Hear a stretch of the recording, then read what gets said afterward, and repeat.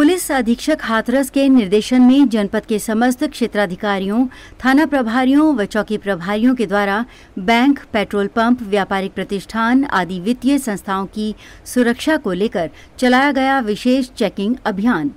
आपको बता दें, पुलिस अधीक्षक हाथरस निपुण अग्रवाल के निर्देशन में जनपद के बैंक एटीएम, पेट्रोल पंप, व्यापारिक प्रतिष्ठान तथा अन्य वित्तीय संस्थानों की सुरक्षा को लेकर विशेष चेकिंग अभियान चलाया गया, जिसके क्रम में जनपद के समस्त क्षेत्राधिकारी, थाना प्रभारी व चौकी प्रभारी में पुलिस फोर्स के अपने अपने क्षेत्रांतर्गत पड़ने वाले बैंक, एटीएम, पेट्रोल पंप, व्यापारिक प्रतिष्ठान, वित्तीय संस्थाओं एवं लेन देन के महत्वपूर्ण स्थानों पर पहुँचे तथा पुलिस द्वारा बैंकों, एटीएम, पेट्रोल पंप आदि पर जाकर सीसीटीवी कैमरों की दिशा एवं दशा, फायर अलार्म सिस्टम चेक किए। पुलिस के द्वारा बैंक सुरक्षा ड्यूटी में लगे सुरक्षा कर्मियों को ड्यूटी के दौरान सतर्क दृष्टि बनाए रखने हेतु आवश्यक दिशा निर्देश दिए गए।